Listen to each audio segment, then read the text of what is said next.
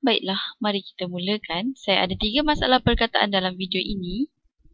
Apa yang saya mahu lakukan dalam video ini ialah bukan selesaikan masalah perkataan, tetapi membuat persamaan yang kita boleh selesaikan untuk dapatkan jawapan bagi masalah perkataan. Apa yang kita akan lakukan ialah membina perkadaran untuk masalah perkataan. Maka dalam masalah yang pertama, kita ada 9 penanda bernilai 11.50 dolar dan kemudian mereka bertanya berapa banyak nilai 7 penanda. Sekarang mari kita setkan X untuk menjadi bersamaan dengan jawapan kita di mana X ialah bersamaan dengan nilai 7 penanda. Okey, kita tuliskan di sini 7 penanda. Okey.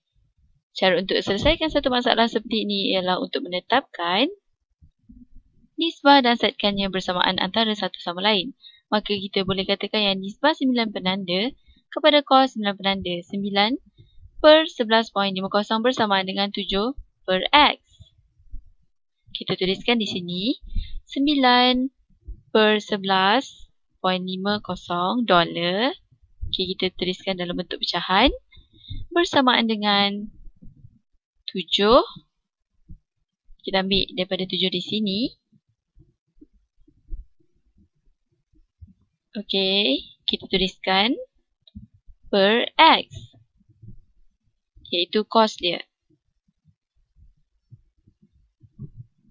Okey, kita tuliskan di sini X. Jadi keseluruhannya ialah 9 per 11.50 sama dengan 7 per X. Ini ialah perkadaran yang benar di sini. Okey. Kemudian, kita akan teruskan. Anda boleh selesaikan ini untuk mencari berapa banyak nilai 7 penanda. Anda boleh ada 11.50 per 9 bersamaan dengan 11 bersamaan dengan X per 7. Okay, kita tuliskan sini. Kita boleh terbalikkan juga. 11.50 kita tuliskan dalam hijau per 9 kita tuliskan dalam ungu bersamaan dengan kita terbalikkan nilai dia X per 7. X kita buat dalam hijau dan 7 kita buat dalam ungu. Ini ialah nisbah yang sah.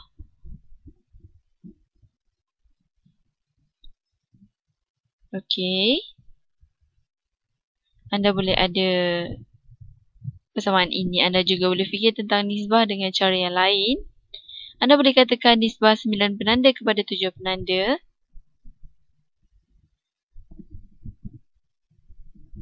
Okey, kita tuliskan 9 penanda kepada 7 penanda akan menjadi sama dengan nisbah kos mereka.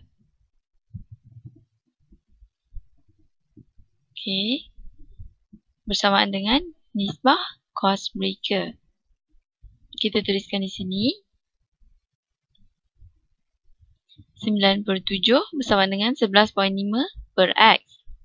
Ataupun 7 per 9. Okay, kita tuliskan dalam warna ungu. Bersamaan dengan okay, X per 11.5. Saya ulangi. X per 11.50. Maka kesemuanya ialah perkadaran yang benar. Okey, antara salah semua nisbah ni, ini ialah perkadaran yang benar. Oleh itu, mari kita lakukan permasalahan ini sekarang. Nilai 7 apple ialah 5 dolar. Berapa banyak yang saya boleh beli dengan 8 dolar? Okey, kita akan selesaikan. Ya. Yeah berapa banyak apple, mari kita namakan itu sebagai X. Kita perlu selesaikan X. Okey, kita boleh tuliskan di sini permasalahan kita.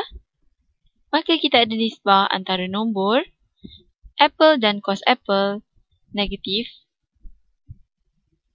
Maaf. Uh, 7 per 5 bersamaan dengan